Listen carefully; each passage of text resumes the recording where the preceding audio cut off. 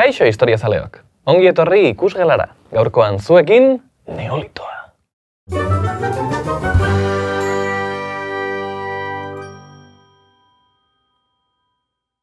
Neolito. Neo berria, lito harria. Harri berria, beraz. Eta harri berri honek aurkitutako tresnei egiten die referentzia. Hau baita neolitoaren ezaugarri bereizgarrian. Gizakia, landareak landatu eta animaliak etxekotzen hasten da. Eta honetarako tresna garatuagoak behar ditu. Arlanduzko tresnak erabiltzen hasten da, eta hauen gogortasunak lehen egin ezin zituen nekatze izalanak egitea albidatzen dio. Paleolitoan, arritza harra. Gizakia, eiztaria, fritu biltzaia eta nomada zen. Arri zahar hau, sugarria zen, zorrotza, baina auskorra ere, eizarako oso baliagarria zen, baina nekasaritzarako... E, Klan edo talde txikietan bizi zen modu komunitarioan, eta tokatzen zen arpe edo kobazuloetan sua eginez beratzen zen gau hotzetan. Eskualdeko jana maitzean, esur eta harri guztiak fardelean, bildu eta hurrengoaren bila abiatzen zen. Neolitoarekin, hau guztia iragan bilagatu zen. Gizakiak mugitzeari utzi eta sedentario bilakatu zen. Hau da, paleolitoa egunkaria da eta neolitoa berria. Barkatu, eh? Hau esken da, benetan. Aldaketa handi hau posible egiteko bere biziko garrantzia izan zuen lurrak ematen zuena jasotzetik lurra lantzera igarotzeak. Historialari ugariren aburuz, nekasali daultza izan zen historiako aldaketarik handiena. Nekasaritza agertzean, paisaia eraldatzen da eta ustak klimarekiko menpekotasuna sortzen du. Etxeak agertzen dira eta herriak ondoren.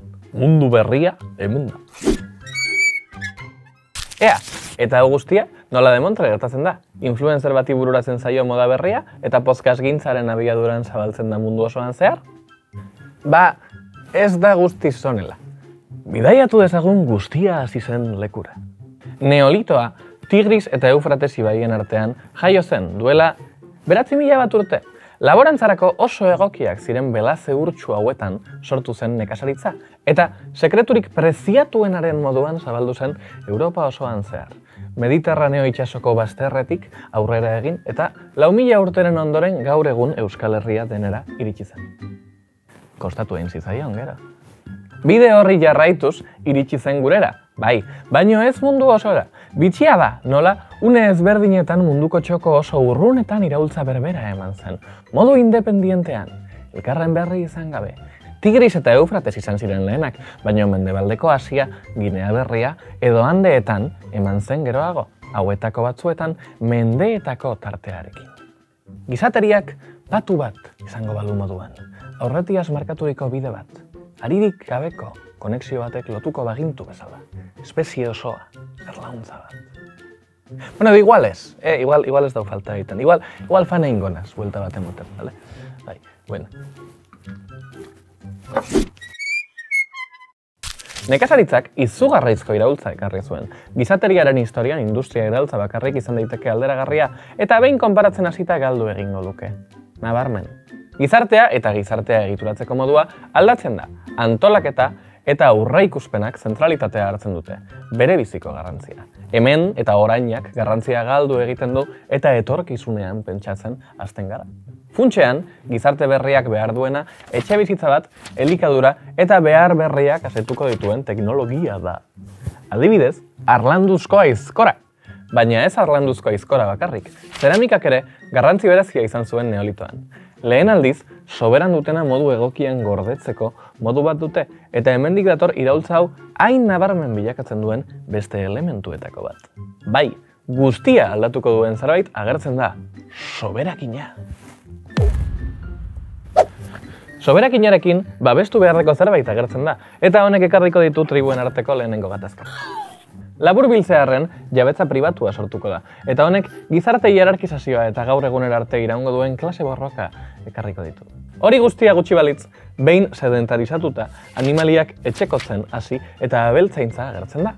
Honek, eizak eskaintzen zizkien aragi edo larruaz gain, produktu prozesatuak prestatzen astea albideratzen die. Horrela jaio ziren, besteak beste, gazta eta estiura. Gizakiak etxeak eraikitzen hasi ziren eta haien pilaketarekin herriak sortu ziren lehen bizi eta hiriak ondoren. Katal Uyuk niretzat, kalataiuz. Izan omen zen munduko lehen iria. Karbono amalau bidezko datazioaren arabera, Kristo aurreko 6.000 bosteun urtetik Kristo aurreko 5.600 urtera izan zuen garrantzirik handiena gaur egungo Turkian kokatzen zen Katal Oiukek. Kalataiuz.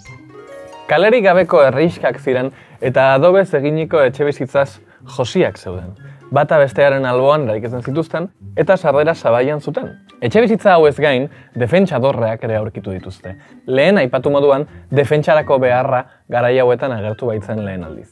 Kalataiuz. Ezinbestekoak. Kaixo, Daniel naiz, eta jarraian neolitoan bizirauteko nire ezinbestekoak erakutsiko dizkizuet. Gurpila! Hain modan jarri zen, gauza guztiei jarri zizkietela gurpilak. Gurpil batekin, dena da hobea. Hogeita bat garrain mendean Bluetootha bezala. Gizakia, bere lan berrietan jarraitu eta apurka teknika eta lanabezak garatzen joan zen. Konturatzerako, metalen aroan sartu ziren eta neolitoak agur esan zuen betirako. Xavier Lete eta Lourdes Iriondo atzean utzi eta suta garren zale egiten dira. Eta horren ondoren zer? Ba hori, aintzinaroa, erromatarrak, historia idatzia, askatasuna, giza eskubideak, teknologia, gurpildun aurkiak, saltxa barbakoa, eun montaditoko bokadillo txikitxoak, kriptotxamponak, sozialdemokrazia, apokalipsia. Bueno, berriz ere aurreratu naiz, barkatu. Urrengoan gehiago, mila esker, eta agur, eta jan jogur.